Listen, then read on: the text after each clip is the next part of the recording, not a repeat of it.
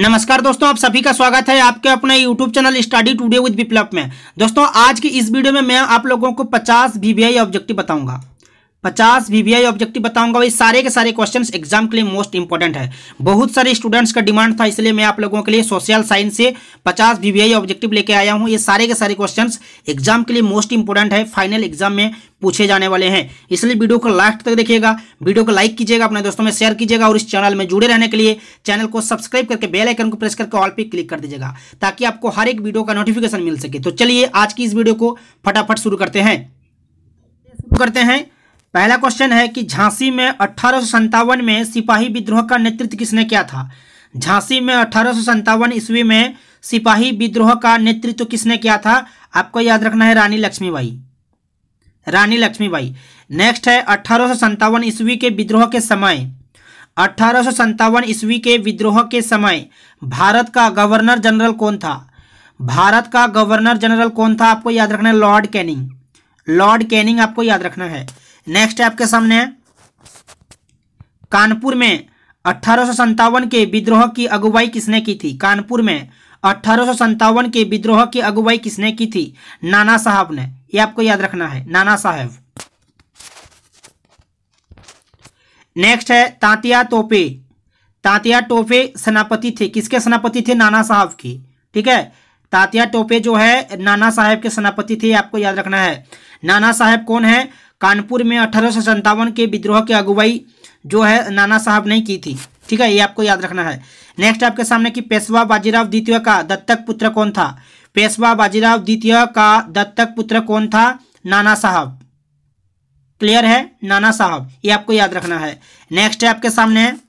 Question number six Bahadur Shah Zafar ने किसके सहयोग से विद्रोह का नेतृत्व किया? बहादुर शाह ज़फ़र ने किसके सहयोग से विद्रोह का नेतृत्व किया? बख्त खां, ठीक है? बख्त खां आपका जो है राइट आंसर हो जाएगा। नेक्स्ट है, नीलांबर और पीताम्बर कहाँ के महान स्वतंत्रता सेनानी थे? नीलांबर और पीताम्बर कहाँ के थे?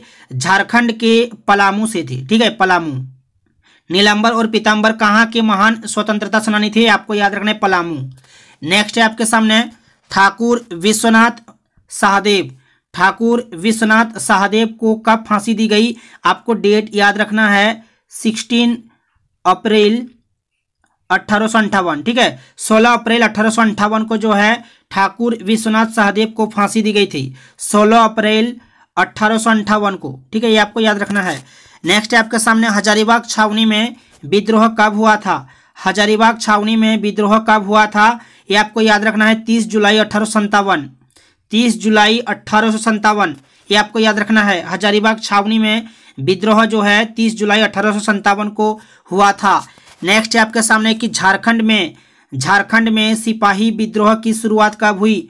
झारखंड में सिपाही विद्रोह की शुरुआत कब हुई? मोस्ट इंपॉर्टेंट है 12 जून अठारह ये आपको याद रखना है 12 जून अठारह को। ऑप्शन नंबर तीन आपका यहाँ पर राइट आंसर हो जाएगा। नेक्स्ट क्वेश्चन देखिए। चलिए नेक्स्ट है आपके सामने। एशियाटिक सोसाइटी ऑफ़ बंगाल का गठन किसने किया था? एशियाटिक सोसाइटी ऑफ़ बंगाल का गठन किसने किया था? विलियम जॉन्स ने। ये आपको याद रखना है, विलियम जॉन्स। अगर आप लोग इस वीडियो को ज़्यादा से ज़्यादा लाइक करते हो, अपने दोस्तों में शेयर करते हो तो मैं आप लोगों के लिए फिर से वीडियो लाऊँगा। ठीक है, मैं आप लोगों के लिए फिर से पचास एम का वीडियो ला रहा हूँ। बहुत जल्द आप लोग जो है इस वीडियो को लाइक कीजिए और ज़्यादा से ज़्यादा अपने दोस्तों में शेयर कर दीजिएगा। ठीक है नेक्स्ट आपके सामने की रांची जिला स्कूल की स्थापना किसने की थी? रांची जिला स्कूल की स्थापना किसने की थी? जे आर ओसले ने। ये आपको याद रखना है जे आर ओसले नेक्स्ट आपके सामने, रांची जिला स्कूल की स्थापना कब हुई थी? रांची जिला स्कूल की स्थापना कब हुई थी? आपको याद रखना है एटीन थर्टी नाइन, ठीक है अट्ठारह सौ उनचालीस ईस्वी में जो है रांची जिला स्कूल की स्थापना की गई थी। किसके द्वारा की गई थी? जे आर ओसले के द्वारा की गई थी, ये आपको याद रखना है। नेक्स्ट आपके सामने निम्न में से। निम्न में से कौन संस्कृत और फारसी रचनाओं का अंग्रेज़ी में अनुवाद कर रहे थे? निम्न में कौन संस्कृत व फारसी रचनाओं का अंग्रेज़ी में अनुवाद कर रहे थे? यहाँ पर चार ऑप्शन दिया हुआ है। Henry, Thomas, Colebrooke, James Mill, Richard Thomas, Jane Perkins. तो इनमें से राइट आंसर हो जाएगा आपका ऑप्शन नंबर एक, हेनरी टॉमस कोलब्रुक। ठीक है, ये आपको याद रखना है। नाम थोड़ा हार्ड है, आपको याद रखना है, हेनरी टॉमस कोलब्रुक। ठीक है, ये आपका राइट आंसर हो जाएगा। नेक्स्ट आपके सामने। 1791 में British Jonathan Duncan. British Jonathan Duncan द्वारा हिंदू कॉलेज कहाँ स्थापित किया गया था? लखनऊ के अंदर या कलकत्ता के अंदर या दिल्ली के अंदर या बनारस? इनमें से राइट हो जाएगा आपका बनारस के अंदर, ठीक है? बनारस, ये आपको याद रखना है। नेक्स्ट आपके सामने। कलकत्ता में मदरसा की स्थापना किसने की? कलकत्ता में मदरसा की स्थापना किसने की? ठीक है, आपको याद रखना है, वॉरेन हेस्टिंग्स। ठीक है, ये आपको याद रखना है वॉरेन हेस्टिंग्स नेक्स्ट है आपके सामने। एसपीजी मिशन द्वारा ब्लाइंड स्कूल कब खोला गया? एसपीजी मिशन द्वारा ब्लाइंड स्कूल कब खोला गया? आपको याद रखना है, अठारह सौ पंचानवे, अठारह सौ पंचानवे ईस्वी में। ऑप्शन नंबर एक सही होगा। नेक्स्ट है आपके सामने। औपनिवेशिक औपनिवेशिक शिक्षा ने भारतीयों को मस्तिष्क में हिंसा का बोध पैदा कर दिया। यह कथन है। दयानंद सरस्वती का, या महात्मा गांधी, या दादा भाई नौरोजी, या लाला लाजपत राय। तो इनमें से राइट आंसर हो जाएगा महात्मा गांधी का। ठीक है? यह कथन जो है महात्मा गांधी का था। ऑप्शन नंबर दो सही होगा। नेक्स्ट आपके सामने। कौन भारत को असभ्य देश मानता है? कौन भारत को असभ्य देश मानता है? इनमें से राइट आंसर हो जाएगा Thomas Babington Macaulay. Babington Macaulay, Thomas Babington Macaulay जो है आपका राइट आंसर हो जाएगा ऑप्शन नंबर दो। नेक्स्ट आपके सामने, संत कोलंबा कॉलेज की स्थापना किसके द्वारा की गई थी? संत कोलंबा कॉलेज की स्थापना किसके द्वारा की गई थी? Dublin, Dublin mission Dublin mission के द्वारा, डबलिन मिशन, ये आपको याद रखना है, संत कोलंबा कॉलेज की स्थापना किसके द्वारा की गई थी? डबलिन मिशन डबलिन मिशन, ठीक है? इस वीडियो के डिस्क्रिप्शन में बहुत सारे ऐसे वीडियोस के लिंक दिया हुआ है, आप चाहें तो एक एक करके देख सकते हैं, ठीक है? नेक्स्ट आपके सामने देखिए। नेक्स्ट आपके सामने, हिंदू विधवा पुनर्विवाह कानून कब पारित हुआ। हिंदू विधवा पुनर्विवाह कानून कब पारित हुआ। आपको याद रखना है अट्ठारह ईस्वी को, ठीक है, हिंदू विधवा पुनर्विवाह कानून कब पारित हुआ? अट्ठारह को। नेक्स्ट है, सती प्रथा पर पूर्ण प्रतिबंध लगाया। सती प्रथा पर पूर्ण प्रतिबंध लगाया। किसने लगाया था? Lord William Bentinck lord William Bentinck next आपके सामने स्वामी दयानंद सरस्वती की स्थापना की। स्वामी दयानंद सरस्वती ने स्थापना की थी। आर्य समाज की, आर्य समाज। स्वामी दयानंद सरस्वती ने आर्य समाज की स्थापना की थी। ये आपको याद रखना है, आर्य समाज। मोस्ट इंपॉर्टेंट है। नेक्स्ट है सती प्रथा को दूर करने का श्रेय किन्हें मिला? सती प्रथा को दूर करने का श्रेय किन्हें मिला था? लॉर्ड विलियम बैंटिक ठीक है? लॉर्ड विलियम बैंटिक को। नेक्स्ट आपके सामने है। किस भारतीय समाज सुधारक के प्रयास से सती प्रथा का अंत किया गया। किस भारतीय समाज सुधारक के प्रयास से सती प्रथा का अंत किया गया? राजा राममोहन राय। ठीक है? आपका राइट आंसर हो जाएगा। राजा राममोहन राय आपको याद रखना है। मोस्ट इंपॉर्टेंट है। नेक्स्ट आपके सामने। सती प्रथा पर पहला प्रतिबंध किस राजा ने लगाया था? सती प्रथा पर प्रथम प्रथम प्रतिबंध किस राजा ने लगाया था? आपको याद रखना है हर्षवर्धन। हर्षवर्धन। सती प्रथा पर पहला प्रतिबंध हर्षवर्धन ने लगाया था। सती प्रथा का प्रथम प्रमाण किस अभिलेख में मिलता है? सती प्रथा का प्रथम प्रमाण किस अभिलेख में मिलता है? एरन। ठीक है? एरन। ऑप्शन नंबर चार सही होगा, एरन। ये आपको याद रखना है। सारे के सारे क्वेश्चन एग्ज़ाम के लिए मोस्ट इंपॉर्टेंट है। इसलिए वीडियो को लास्ट तक देखिएगा। वीडियो को लाइक कीजिएगा, अपने दोस्तों में शेयर कर दीजिएगा और इस चैनल में जुड़े रहने के लिए, इस तरह के वीडियोस पाने के लिए इस चैनल को सब्सक्राइब ज़रूर कर लीजिएगा। नेक्स्ट आपके सामने, स्त्री शिक्षा के लिए कलकत्ता के तरुण स्त्री सभा की स्थापना कब हुई? स्त्री शिक्षा के लिए कलकत्ता के तरुण स्त्री सभा की स्थापना कब हुई? 1819 को। 1819 ईस्वी को। ऑप्शन नंबर चार सही होगा। नेक्स्ट आपके सामने भोपाल की भोपाल की बेगमों ने लड़कियों की शिक्षा के लिए विश्वविद्यालय कहाँ खोली? भोपाल की बेगमों ने लड़कियों की शिक्षा के लिए विद्यालय कहाँ खोली? अलीगढ़ के अंदर।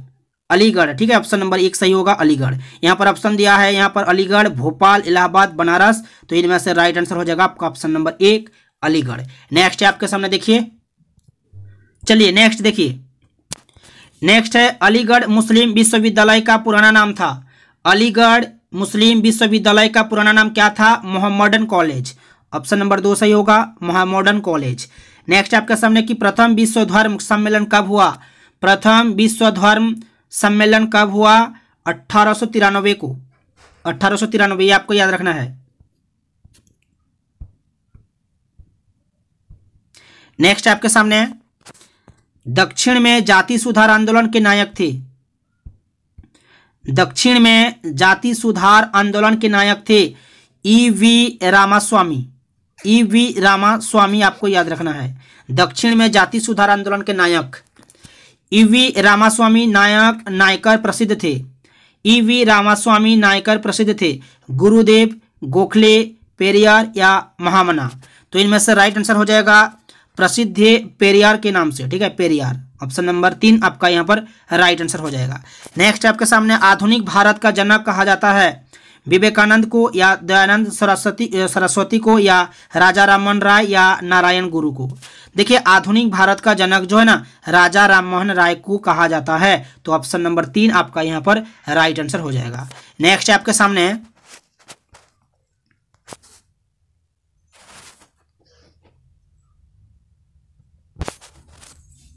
नेक्स्ट है आपके सामने कि कंपनी सरकार ने भारत में कौन सा समाज सुधार का कार्य नहीं किया। कंपनी सरकार ने कंपनी सरकार ने भारत में कौन सा समाज सुधार का कार्य नहीं किया। सती प्रथा को बंद करने का कार्य, नर, नरवली को बंद करने का कार्य, विधवा विवाह को बढ़ावा देने का कार्य या गुलामी बंद करने का कार्य। तो ऑप्शन नंबर चार सही होगा, गुलामी बंद करने का कार्य। नेक्स्ट आपके सामने वर्ण व्यवस्था आधारित था। वर्ण व्यवस्था आधारित था। जन्म पर, कर्म पर, क्षेत्र पर इनमें से कोई नहीं देखिए वर्ण व्यवस्था जो है, कर्म पर आधारित था तो ऑप्शन नंबर दो सही होगा। नेक्स्ट आपके सामने की सत्य शोधक समाज की स्थापना किसने की थी? सत्य शोधक समाज की स्थापना किसने की थी? ज्योतिराव फुले ने। सत्य शोधक समाज की स्थापना किसने की थी? ज्योतिराव फुले। सारे के सारे क्वेश्चंस एग्ज़ाम के लिए मोस्ट इंपॉर्टेंट है। वीडियो को लास्ट तक देखिएगा वीडियो को लाइक कीजिएगा, अपने दोस्तों में शेयर कीजिएगा। नेक्स्ट आपके सामने ब्रह्म समाज के संस्थापक कौन थे? ब्रह्म समाज के संस्थापक कौन थे? राजा राम मोहन राय। राजा राम मोहन राय जो है, ब्रह्म ब्रह्म समाज के, ब्रह्म समाज के संस्थापक थे। नेक्स्ट आपके सामने, ज्योतिराव फुले ने किस प्रसिद्ध ग्रंथ की रचना की थी? ज्योतिराव फुले ने किस प्रसिद्ध ग्रंथ की रचना की थी? गुलामगिरी। ये आपको याद रखना है, गुलामगिरी। ज्योतिराव फुले ने किस प्रसिद्ध ग्रंथ की रचना की थी? गुलामगिरी। ये आपको याद रखना है, ऑप्शन नंबर दो सही होगा। नेक्स्ट आपके सामने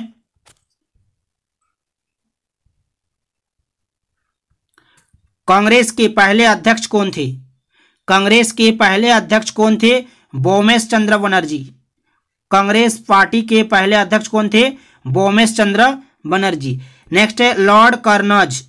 Curzon. Lord Curzon ने 16 अक्टूबर 1905 को किस राज्य का विभाजन किया? लॉर्ड कर्जन ने 16 अक्टूबर 1905 को किस राज्य का विभाजन किया? बंगाल। ठीक है ऑप्शन नंबर एक सही होगा, यहाँ पर बंगाल हो जाएगा। ठीक है ऑप्शन में दिया हुआ है बंगाल, मद्रास, मुंबई, उड़ीसा तो इनमें से राइट आंसर हो जाएगा आपका बंगाल।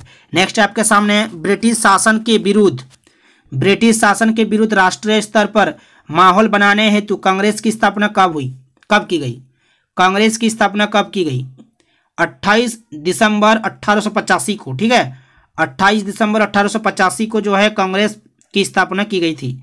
नेक्स्ट आपके सामने बंगाल विभाजन के समय वायसराय था। बंगाल विभाजन के समय वायसराय था। कौन था? लॉर्ड कर्जन, ठीक है? लॉर्ड कर्जन आपको याद रखना है।